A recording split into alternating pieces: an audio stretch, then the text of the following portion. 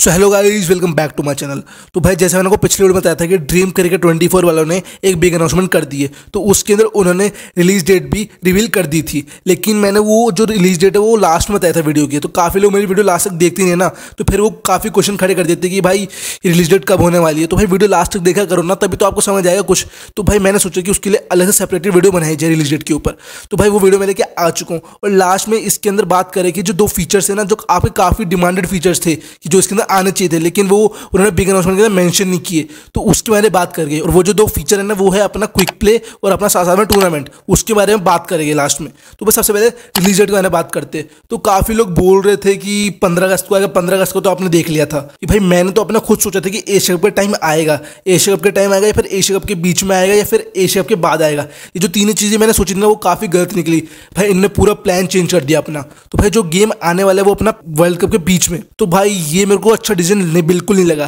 क्योंकि भाई, ये जो ड्रीम के ट्वेंटी फोर गेम है ना, उसकी हाइप अभी बनी हुई है। अब ये नहीं पता कि उसके बाद में जाके हाइप बनी रहेगी, नहीं बनी रहेगी। क्योंकि भाई, जो अपना पाँच अक्टूबर, जिस टाइम पे अपना वर्ल्ड कप स्टार्ट होने वाला है ना, उस टाइम पे एक गेम रिलीज़ होने वाला है पीसी का क्रिकेट ट्वेंटी फोर पीसी वाला। तो भाई, अब उस टाइम पे उस गेम की ज़्यादा हाइप रहेगी, क्योंकि वो गेम काफ़ी अच्छा है उसके ग्राफिक्स काफ़ी अच्छे है। और जो एंड्रॉइड और पीसी यूज़र दोनों है ना तो उस टाइम पे तो भाई क्रिकेट ट्वेंटी फोर की ज़्यादा हाइप रहेगी। अगर दो, दोनों जो यूज़र्स है, उन दोनों में से भाई, अगर किसी को चूज़ करना होगा तो वो पीसी चूज़ करे ना क्योंकि उसके ग्राफिक ज़्यादा बेटर है। तो उस टाइम पे इस गेम की शायद हाइप ना बनी रहे। तो भाई, इसलिए मैं चाहता हूँ कि वो एशिया कप के टाइम रिलीज़ करते ना गेम को।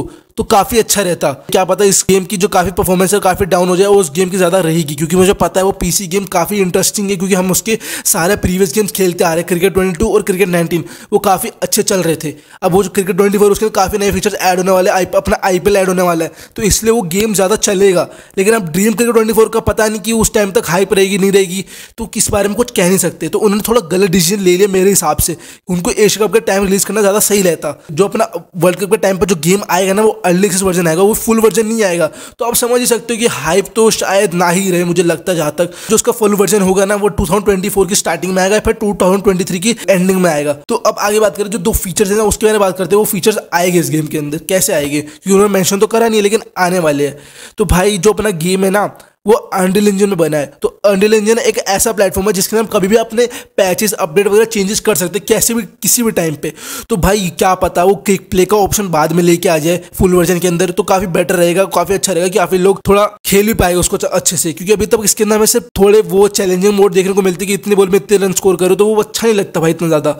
और आगे बात करें इसके टूर्नामेंट्स टूर्नामेंट्स इसके अंदर ऑलरेडी इसके अंदर बता दे कि दो टूर्नामेंट तो लाइसेंस रहेगी रहेगी। अपना एक तो LLC master legend league cricket master और अपना दूसरा है सुपर स्मैश लीग जो न्यूजीलैंड की लीग है। वो तो लाइसेंस रहेगी, उन्होंने बता दिया है। और साथ साथ में और टूर्नामेंट्स तो अब इसके अंदर कुछ नहीं बताया कि रिवील नहीं किया कि और टूर्नामेंट्स कौन कौन से होने वाले हैं। और कंपनी लास्ट में एक चीज़ और लिखी है कि भाई गेस करो कि हम जो अभी जो रिसेंटली काम कर रहे हैं, कौन से मोड के ऊपर काम कर रहे हैं। तो मतलब इसके अंदर एक और नया मोड आने वाला है और और मोड के ऊपर काम कर रहे हैं। तो इसका मतलब ये गेम के अंदर बहुत सारे मोड्स आने वाले बहुत सारे फीचर्स और आने वाले हैं।